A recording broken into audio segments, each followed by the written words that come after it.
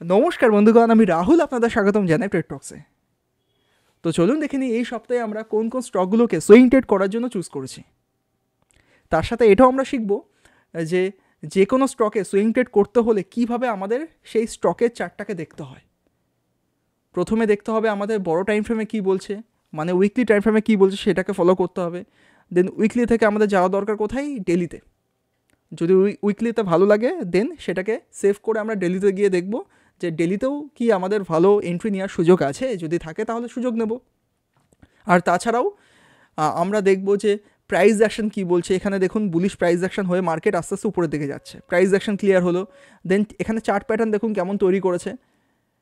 তো এখানে chart pattern দেখব, তারপর ক্যান্ডেলস্টিক প্যাটার্ন কেমন তৈরি হচ্ছে সেগুলোও বোঝার চেষ্টা করব। যখন ব্রেকআউট হচ্ছে, সেখানে ব্রেকআউটের সময় যে বুলিশ ক্যান্ডেল তৈরি হচ্ছে, তার পাওয়ার কেমন আছে ভলিউম কেমন আছে, এগুলো যত আমরা কম্বাইন করে দেখব, তত কিন্তু আমরা সিউরিটি বেশি পাবো যে সেই স্টকটাতে আগামী সময় কতটা মুভ করতে পারে। তাই না? তো এগুলো সমস্ত কিছু আপনি প্র্যাকটিস করুন ডে বাই ডে এবার লাস্ট ভিডিওতে অনেকে কমেন্ট করেছেন যে, দাদা, এইসব আমরা যে লাস্ট ভিডিওতে সুইং ট্রেডের কথাগুলো বলেছিলাম যেসব স্টকগুলো আলোচনা করেছিলাম, যে এই স্টকগুলো আপনি পেলেন কোথার থেকে? তো দেখুন, আমার কাছে সাড়ে চারশো থেকে পাঁচশোখানা স্টকের ওয়াচ লিস্ট রয়েছে। আমি ডেলি বেসিসে বা সপ্তাহে তিন থেকে চার দিন আমি সেসব স্টকগুলোকে নিয়ে অ্যানালিসিস করি যে কোন স্টকের মধ্যে কেমন প্রাইস অ্যাকশন তৈরি হচ্ছে বা কেমন মুভ করছে প্রাইস যদি তাদের মধ্যে কোনো স্টক আমার ভালো লাগে, সেগুলোকে সেভ করে রাখি দেন ভালোভাবে তার উপরে আবার অ্যানালিসিস করে সেগুলো আপনাদের জন্য প্রিপেয়ার করি বা আমি নিজের জন্যই প্রিপেয়ার করি বাংলা কথা।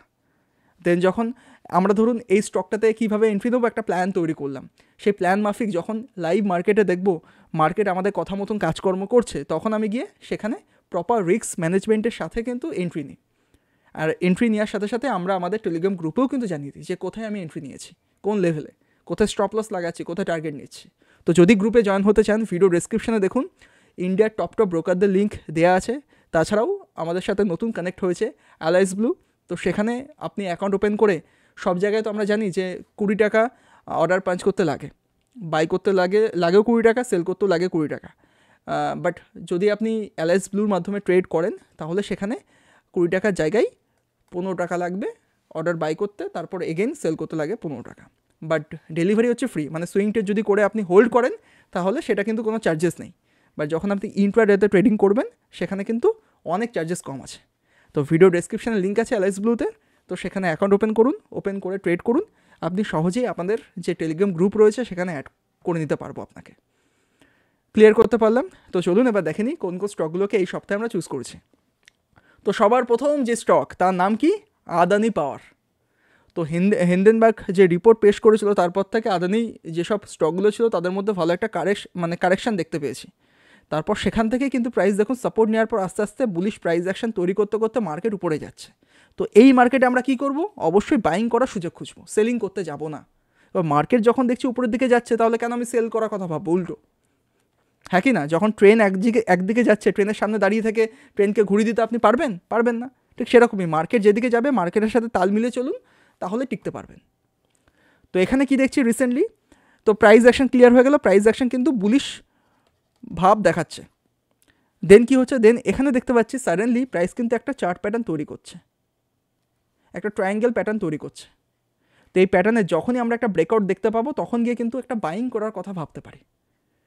তো বাইং করলে যেখানে নিয়ারেস্ট সুইং থাকবে সুইংয়ের নিচে আমরা এসএল লাগাবো দু পাঁচ পয়েন্ট ছেড়ে। তো যেটুকুনি আমরা এসএল নেব, তার এগেনস্টে কিন্তু দ্বিগুণের আমরা মিনিমাম টার্গেট রাখব, দ্বিগুণ। তারপর যদি মার্কেটের মধ্যে গ্রোথ থাকে বা মার্কেটের মধ্যে ভলিউমের সাপোর্ট পাই, তাহলে সেটাকে ট্রেলও করতে পারি। দুগুণের জায়গায় তিন গুণও পেতে পারি চার গুণও পেতে পারি। বাট মিনিমাম কিন্তু দ্বিগুণের আমরা প্ল্যান রাখব। অলরাইট তো এই হচ্ছে আপাতত আধুনিক পাওয়ারের চার্ট তো দেখুন আপাতত যদি এক্স্যাক্টলি লেভেলের কথা বলা হয়, এই পাঁচশো আশি যে লেভেল আছে, এই লেভেলটাকে ভালোভাবে মাথায় রাখুন। তো যতদিন প্রাইস এর মধ্যে ঘোরাফেরা করবে, কিচ্ছু করার দরকার নেই। যদি এই লেভেলটাকে মানে নিচের দিকে যে সাপোর্ট আছে সাপোর্টটাকে যদি ভেঙেও দেয়, ছেড়ে দেবেন, দরকার নেই ট্রেড করার। কিন্তু তখনই আমরা বাইং করব যখন দেখব এই পাঁচশো আশি লেভেলকে ব্রেকআউট দিয়েছে। আগের থেকে পাকামি করে নিচু লেভেলে বাইং করার কোনো দরকার নেই। এই লেভেলটাকে ব্রেকআউট করে ভালো একটা যদি বুলিশ ক্যান্ডেল কমপ্লিট করতে পারে, তাহলেই কিন্তু বাইং করতে যাব।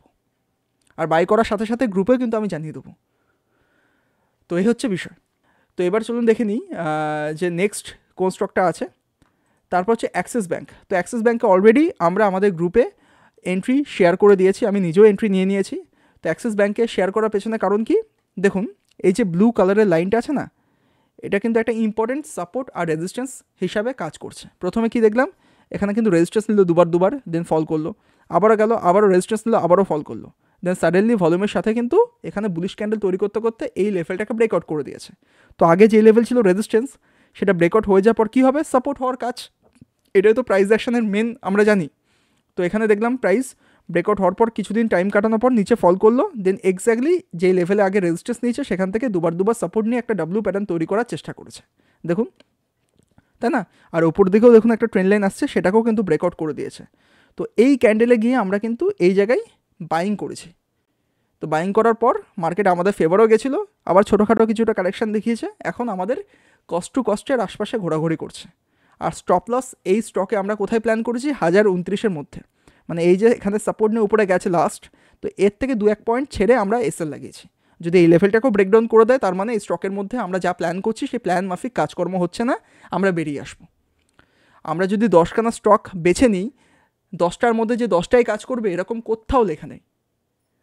যদি অ্যাকুরেসি ভালো থাকে বা প্রাইস অ্যাকশনের নলেজ যদি ক্লিয়ার থাকে, তাহলে দশের মধ্যে যদি ছখানা স্টক বা সাতখানা স্টকেও যদি টার্গেট হিট হয়ে যায় দ্যাটস এনাফ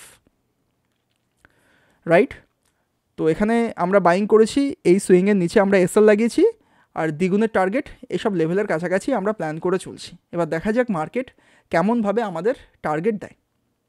যদি না দেয়, আমরা এসএল দিয়ে বেরিয়ে আসব, আর যদি দেয়, আমরা চুপচাপ হোল্ড করে বসে থাকব। তো অ্যাক্সিস ব্যাংকের ট্রেডটাকে মানে স্টকটাকে বেছে নেওয়ার পেছনে কারণ আশা করি বুঝতে পেরেছেন। সিম্পল যেটা রেজিস্ট্যান্স ছিল, সেটা সাপোর্টের কাজ করছে। সাপোর্টের কাছাকাছি এসে একটা ডাব্লু প্যাটার্ন দেখতে পাচ্ছি, তারপর গিয়ে বাইং করছি। তাছাড়াও এই ট্রেন লাইনেরও ব্রেকআউটটা দেখতে পেয়েছি।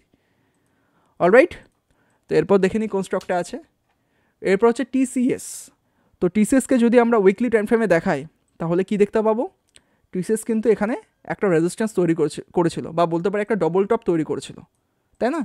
দেন এখান থেকে কিন্তু মার্কেট ফল করেছিল দেন অনেক দিন ধরে কিন্তু প্রাইস একটা ছোট্ট বক্সের মধ্যে অনেক দিন ধরে চলাফেরা করে গেছে, একটা বেস তৈরি করেছে, মোদ্দা কথা।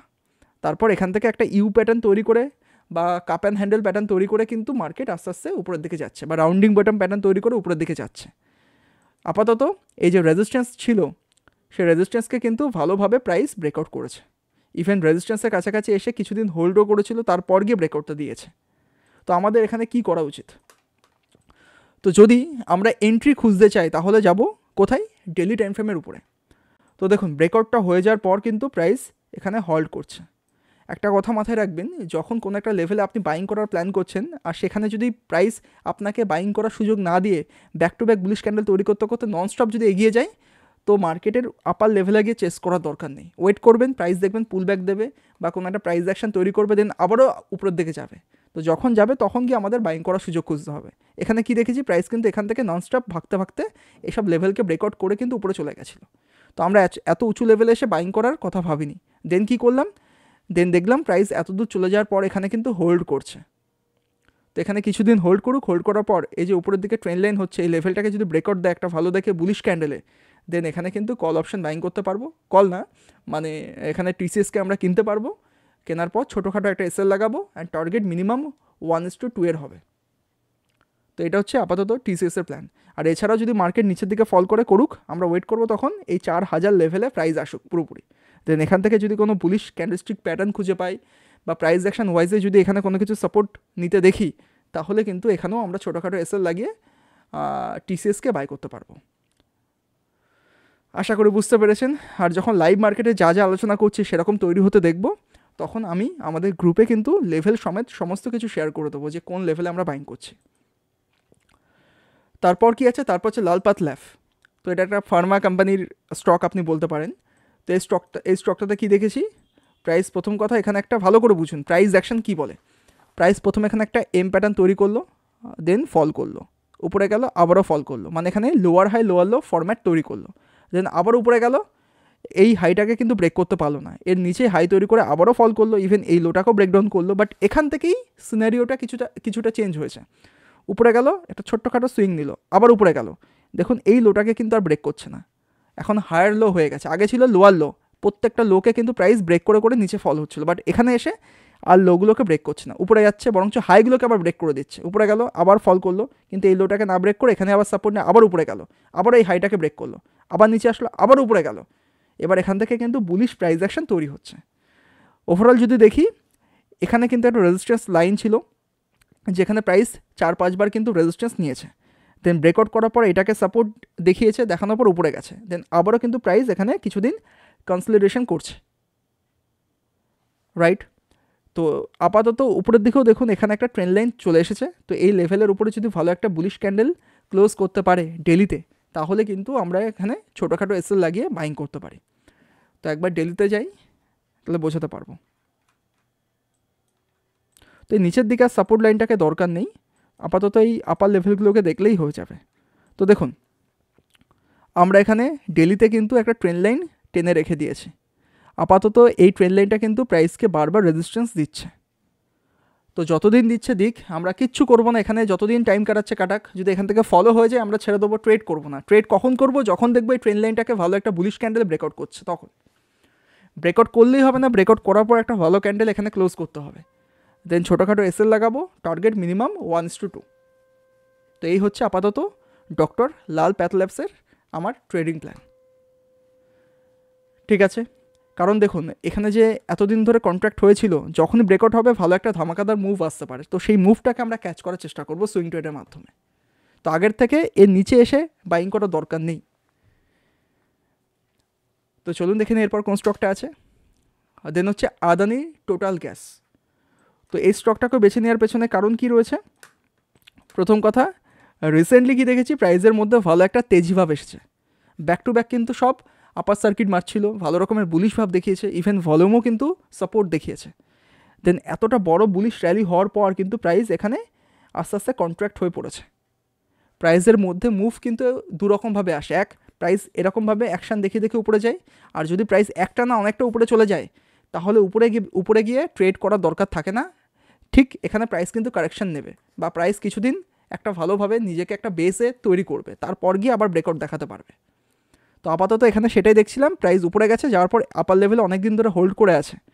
দেন যদি আমরা দেখি, এই উপরের দিকে যে ট্রেন লাইনটা টেনে রেখে দিয়েছি, যদি এই লেভেলের উপর একটা ভালো ক্যান্ডেল মানে কমপ্লিট করতে দেখি দেন এখানে ছোটোখাটো এসএল লাগিয়ে কিন্তু এখানেও আমরা বাইং করতে পারি। আর যদি এখান থেকেই ব্রেকডাউন হয়ে যায়, উপরের দিকে ব্রেকআউট না দেখায় সেই ক্ষেত্রে এই স্টকটাকে টোটালি আমরা অ্যাভয়েড করব।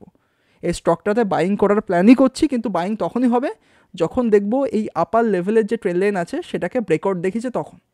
আগের থেকে পাকামি করে নিচে এসে বাইং করতে যাবে না যে অল্প টাকায় কিনতে পারব ব্রেকআউট হয়ে গেলে অনেকটা উঁচু লেভেল হয়ে যাবে, এরকম ভাবতে যাবে না। আগে ব্রেকআউট দেখাক, পুরো কমপ্লিট চোখের সামনে ক্লিয়ার হোক, তারপর গিয়ে বাইং করতে যাব।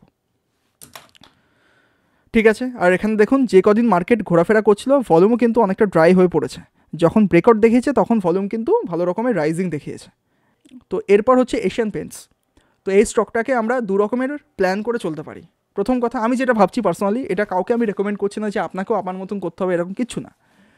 তো দেখুন এশিয়ান পেন্টসকে প্রথম কথা একটা ভালো স্টক বড় একটা লার্জ ক্যাপ কোম্পানির স্টক এর ম্যানেজমেন্টও ভালো আছে নো ডাউট তো এখানে আমরা লং টার্ম ইনভেস্টমেন্টের জন্য প্ল্যান করতে পারি, প্রথম কথা। আর দ্বিতীয় কথা, যদি আপনি সুইং ট্রেড প্লে করতে চান, সেটার জন্য প্ল্যান প্ল্যান করতে পারেন।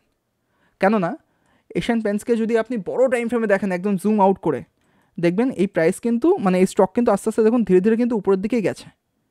তাই না? উপরের দিকে গেছে। তো আগামী সময়ে উপরের দিকে যাওয়ার একটা প্রবাবিলিটি আছে। ভালো কথা। দ্বিতীয় কথা কি? প্রাইস কিন্তু বড় টাইম ফ্রেমে মানে আমরা রয়েছি কিন্তু এখন উইকলি টাইম ফ্রেমে বড় টাইম ফ্রেমে কিন্তু এখানে একটা ট্রায়াঙ্গেল প্যাটার্ন তৈরি করতে করতে মার্কেট ঘোরাফেরা করছে। মার্কেট এখন এই সাপোর্ট এলাকার কাছাকাছি এসে গেছে। আগেও দেখুন এখানে সাপোর্ট পেয়েছে মার্কেট উপরে গেছে। সাপোর্ট পেয়েছে, উপরে গেছে। সাপোর্ট পেয়েছে, উপরে গেছে। আবারও কিন্তু সাপোর্ট পেয়েছে, এখান থেকে উপরের দিকে যাওয়ার একটা চান্স আছে। কত দূর উপরে যাবে? এই যে রেজিস্ট্যান্স বারবার যে লেভেলে পাচ্ছে, সেই লেভেলের কাছাকাছি কিন্তু একটা আসার সুযোগ আছে। দেন এখান থেকে হয়তো ব্রেকআউট করে আরও বড় টার্গেট আমাদের দেখাতে পারে। তো তার জন্য বলছি, একদম নিচু লেভেলে আপাতত রয়েছে। তো এই জায়গায় যদি আপনি অ্যাকোমোডেশন করতে চান ফর লং টার্ম ইনভেস্টমেন্ট তো করতে পারেন। যদি সুইং ট্রেডের জন্য প্লে করতে চান, তো করতে পারেন। আশা করি বুঝতে পেরেছেন। আমরা একদম সাপোর্টের গোড়ায় এসে গিয়ে বাইং করব, যাতে সাপোর্টটাকে যদি ভেঙে দেয়, ছোট্ট একটা এসএলএ বেরিয়ে আসব। এসএলের কথা কিন্তু ভুলবেন না। তো এবার যদি ডেলিতে গিয়ে দেখি, তো ডেলিতে গিয়ে কিন্তু সাপোর্টে এসে একটা অলমোস্ট ডাব্লু প্যাটার্ন কিন্তু তৈরি করেছে। কেমন? দেখুন মার্কেট ফল করেছে, করার পর এখানে একটা ডাব্লু প্যাটার্ন তৈরি করেছে। তো এই ডাব্লু প্যাটার্ন দেখে এই ক্যান্ডেলে আমরা এখানে কিন্তু বাইং করেছি এশিয়ান পেন্টসকে এই যে সুইং লেগে উপরে গেছে সুইংয়ের দু পাঁচ পয়েন্ট ছেড়ে কিন্তু এসএল লাগিয়েছি। তো যেটুকুনি আমরা এসএল নিয়েছি, তার এগেনস্টে কিন্তু দ্বিগুণের টার্গেট আমরা রেখেছি। তো এই লেভেলটাকেও যদি ভালোভাবে ব্রেকআউট করে হেলদিভাবে দেন এইসব টার্গেটগুলো কিন্তু আমরা ইজিলি পেয়ে যাব। তো এটা মিনিমাম দ্বিগুণ টার্গেট আশা করছি, তারপরেও যদি মার্কেটের মধ্যে গ্রোথ থাকে ভলিউমের সাপোর্ট পাই, আমরা বড় টার্গেটের জন্য বসে থাকব। এরপর হচ্ছে এসবিআই লাইফ ইন্স্যুরেন্স তো এই স্টকটাকে যদি আমরা উইকলি টাইম ফ্রেমে দেখি, তাহলে কি দেখতে পাবো? এই স্টকটা কিন্তু আস্তে আস্তে দেখুন ধীরে ধীরে উপরের দিকেই যাচ্ছে, বড় টাইম ফ্রেমে ভালো কথা। আর দেন কি হয়েছে? লাস্ট মানে এই যে লেটেস্ট উইকের ক্যান্ডেলে কিন্তু একটা ভালো ব্রেকআউট দেখতে পেয়েছি। নতুন একটা all time high SBI life insurance তৈরি করেছে। এখানে কিছুদিন হোল্ড করার পর গিয়ে কিন্তু ব্রেকআউটটা দেখিয়েছে। খুব ভালো কথা। তো যদি আমরা এবার ডেলিতে যাই, তো ডেলিতে গিয়ে কি দেখব? প্রাইস কিন্তু এখানে অলমোস্ট একটা ইনভার্স হেড অ্যান্ড শোল্ডারের প্যাটার্ন তৈরি করে কিন্তু ব্রেকআউটটা দেখিয়েছে। ভলিউমের সাথে।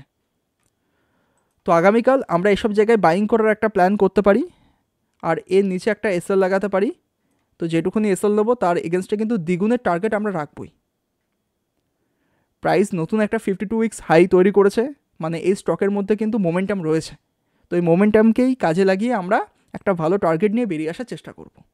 তো আশা করছি, আজকের ভিডিওতে যে যে স্টকগুলোর কথা আলোচনা করলাম এইসব স্টকগুলোকে কেন বেছেছি, কি কি দেখে বেছে নিয়েছি, সেগুলো আপনি সহজে বুঝতে পেরেছেন। তো যদি ভিডিওটা ভালো লেগে থাকে, তাহলে প্লিজ ভিডিওটাকে লাইক শেয়ার কমেন্ট করে দিন। তো দেখা হচ্ছে কালকে। Good bye